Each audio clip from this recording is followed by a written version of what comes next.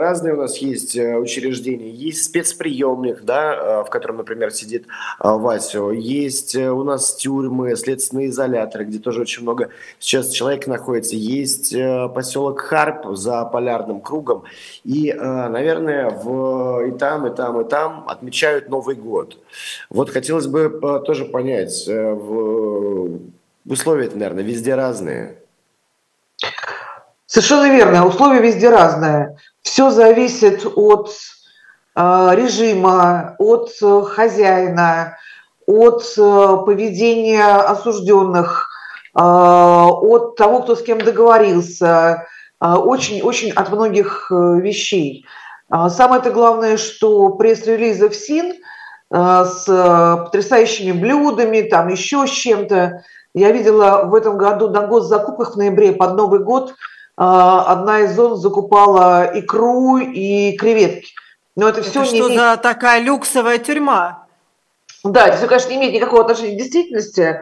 Э, все это на стол черным не попадает, а, но попадает другое. Ну, во-первых, можно договориться, а в женских зонах договариваются всегда, отбой попозже. А в 23 это в плохом варианте, где-то в час, а в женских зонах и в два, чтобы посмотреть пресловутый голубой огонек. Но главное не это. Главное, чтобы все посмотрели новогоднее обращение Владимира Владимировича. Это вот по этому поводу добазариться можно всегда. Э, это во-первых. Во-вторых, конечно, э, к Новому году готовятся. Затягивают заранее передачи, пытаются покупать в тюремных ларьках, знаете, в таких вот жестяных банках из-под печенья готовят собственные торты, Э, с измельченным печеньем, джемом, сливочным маслом, вот такие вот многослойные пироги. Бывают и сделают и салаты вполне себе. Э, знаете, в крайнем случае э, выжимают и измельчают роллтон вместе с сайрой, размешивают и с майонезом, и сходит за новогодний салат вполне. Но кто, что называется, кто договорится, может договориться и до Э, передач, э, не знаю, там, вплоть до суши. Э, я такое знаю. И очень редко, но бывает так, что добазаривается там до шампанского, до чего-нибудь еще, но чаще всего ставят свою брагу.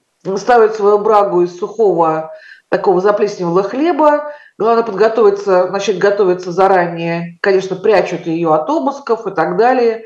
Или брагу на лимонных корках засушенных, или то и другое вместе – ну, в общем, Новый год везде Новый год. Все-таки к этому празднику действительно готовятся, и э, действительно здесь закрывают глаза на многое очень часто, очень часто просто закрывают глаза.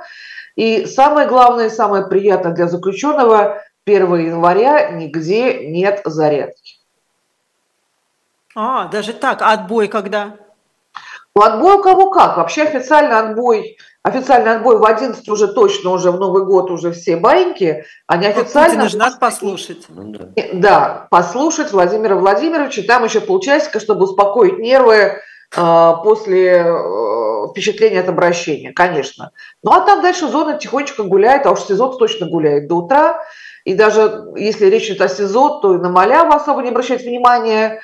И ходят поздравления в виде браги, в виде там э, каких-то там затянутых ништячков, ходят по всей зоне, конечно, по коням, по этим вот по живым дорогам. Дороги – это веревки, натянутые между камер, э, которые являются главным э, способом и обмена, я так понимаю, всем тем, чем да, да, да, да. арестанты и заключенные, и способ коммуникации, ну, то есть ты можешь какую-то записку передать, сообщить о том, как твои дела, узнать какие-то новости, получить информацию. Это, а это вообще легальная вещь? Ну, то есть это ты как-то... Ну, нет, конечно, как может быть межкамерная связь легальная вещь? Конечно, нет. Но она есть везде, во всех странах мира, во всех Просто на нее закрывают мира. глаза. Ну да, вот в 31 на 1 на это закрывают глаза. А, а с спецконтингентом, вот с особо опасными, с экстремистами, террористами, как обходится? Им а, что в Новый год? Тоже пытаются каким-то образом а, насолить? Я почему спрашиваю про кого? Про Алексея Анатольевича, конечно. Не, ну вы знаете, Алексей Анатольевич сейчас находится в совершенно другом положении, поскольку, поскольку во-первых, он Алексей Анатольевич. у него все равно особый случай. У него не было возможности затянуть передачу. Не было такой возможности. У него не было возможности завести себе друзей в тюрьме, да, семейников, то, что называется. Он в одиночке. Поэтому здесь вряд ли что-то кто-то ему подкинул. Он наверняка мог через адвоката, который, собственно, нам сообщил, где он находится, ну, получить, я не знаю, там пачку чая, пачку печенья, пачку э, джема или что-то в этом духе, ну, если, если это получилось. А так, в общем, больше нет. И уж точно он встречал Новый год в одиночестве. Э, если у него в кабеле телевизор, я очень сильно сомневаюсь. Но мне не, не думается, что э, Алексей Навальный сильно переживал, что не увидел новогоднего обращения Путина. Сомневаюсь, да. А и, и спрошу про еще одного а, заключенного, про Владимира Карамурзу. А вот в таких вот э, заведениях, или он сидит в одиночной камере, он вообще, насколько я понимаю, даже ни с кем не разговаривает в течение дня толком. Да, его огораживают, как и многих политических, но вот Карамурза и Алексей Навальный, у них к ним совершенно особенное отношение, э, их огораживают. У Владимира Карамурза ситуация у него чуть-чуть все-таки получше сообщение, потому что иногда его все-таки вынимают из ШИЗО, но, конечно, у него большая проблема, прежде всего, со здоровьем. Я напомню, что его заболевание входит под номером 29 в список заболеваний, утвержденный правительством, которые препятствуют отбыванию наказания в местах лишения свободы. Я бы еще напомнил, что это заболевание появилось э, не случайно у Владимира Карамурзы, а это последствия того отравления, за которым э, стоят... В результате двух отравлений, да, двух отравлений. Российские спецслужбы, о чем тоже наши коллеги э, приводили доказательства, и о чем мы тоже не забываем. Э, говорить. А как проходит Новый год в тех местах, где осуществляется принудительное лечение, поскольку понимаем, что сейчас и э, активистов, тех, кто э, выступал против российской агрессии в Украине, отправляют иногда не в тюрьму, а именно вот так, на принудительное лечение. Но вы знаете, тоже есть, что называется, две версии. Версия официальная, версия неофициальная. А, в любом случае, в Новый год всем даются некоторые послабления.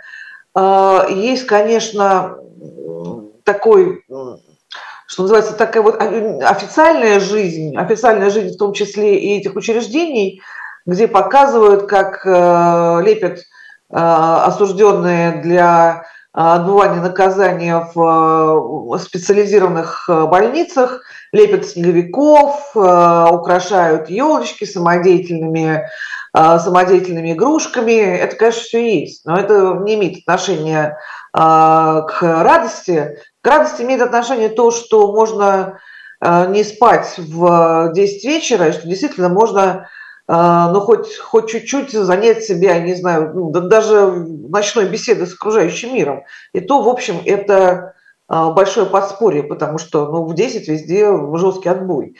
И а, есть записки, воспоминания, есть очень много свидетельств того, что даже когда есть отбой, не удается договориться, проверка раз в час, и надо сказать, что у караульных тоже Новый год – и этот раз сейчас, в общем, тоже он такой довольно ленивый, поэтому ставят и табуретки между э, шконками, которые накрываются, и потом очень тихо все это собирается, когда идет проверка.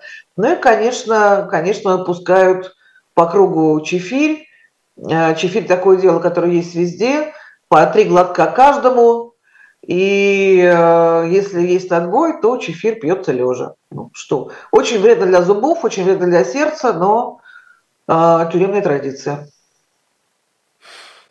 А, в 31 декабря новость э, была о том, что впервые, значит, 4 э, года колонии назначили 18-летнему жителю Майкопа э, по обвинению в государственной, государственной измене. Да, и что это первый случай в России, когда по этой статье осудили школьника за то, что он якобы, значит, фотографировал воинскую часть, а потом эти фотографии отправлял куда-то каким-то представителям иностранного государства. А вообще, что это за история такая? Но это все же началось, все это началось раньше, все это началось, я напомню, с канских школьников, а, которые были обвинены в том, что они покушались на а, ФСБ. И там тоже реальные сроки. И там один из канских школьников, он сейчас переведен недавно, совсем в августе этого года, во взрослую зону, ему исполнилось 18 лет. 6 а, лет дали Никите, канскому школьнику. И вот с этого всего началось, пожалуй, с них. И давайте вспомним и все-таки старые дела, э, новое величие, например, там же тоже было а, некоторым участникам по 17 лет, когда на них заводились уголовные дела.